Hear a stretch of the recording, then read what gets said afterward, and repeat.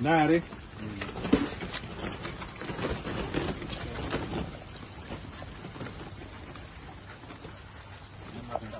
Ja, Doen daar eerst maar nou.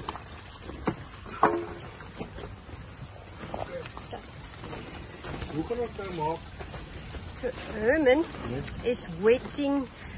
Herman is now going to teach Khensani about the wormery. And Stefan is also going to put his input in here. so we brought in the worms and we got it as a present and we actually did a... Baby. Huh?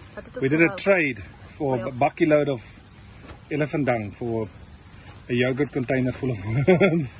Yeah, so our In worms Leamington. were then uh, multiplying because of the the food in the elephant dung that they're getting, and we're going to transfer them into that new bucket that doesn't have worms. Goodbye. That is a very small baby worm, or a red ringle, ringler Wiggler. wiggler. Um, so Herman is also now very excited, spotting them. It's a springtail, yeah. And then we've got a springtail there. Where's he now? That little white guy, where's he now? There we go. On my Oh finger. yeah. You see, that's a little white. Um, oh, sorry, wrong hand. Um, Here we go. white little insect. And Stefan can tell you more about So that them. they like the, the cleanup crew. So they, they come in afterwards.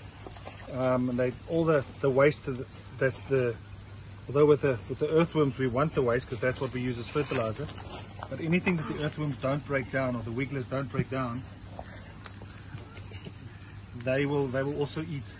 So it just helps to, to make sure that the the boxes are clean and it shows you that it's actually a very healthy system because of, of the fact that you've got all this it's almost like a biodiversity that you've, you've got in these boxes and all of it's kind of working to, to breaking down the, the all the food and the, the biomatter that we, we're putting in here.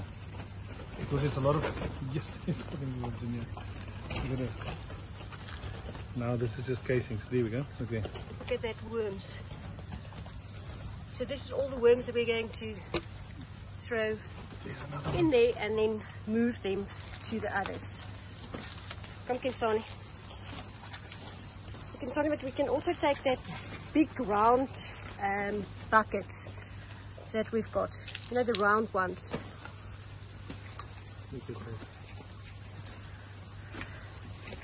So Herman used to be very good in looking after our wormery at Jabulani. And that was actually the reason why I decided to use Herman with the elephants.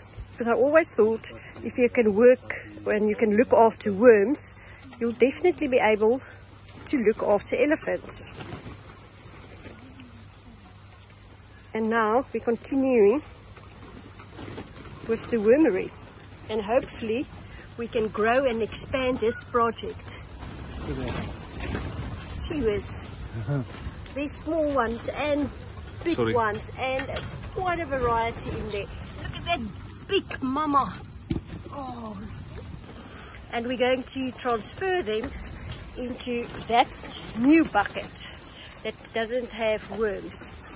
So basically Herman is now just wetting all that um, elephant dung that we've put in and that's also some soil that has been in there. And then we've got all the casings which is underlying there, which we are looking forward then using in our or erosion plants or ba- banana grass and but now the, the big work is to take out all the little worms and take them from this side and then actually put them into the little container.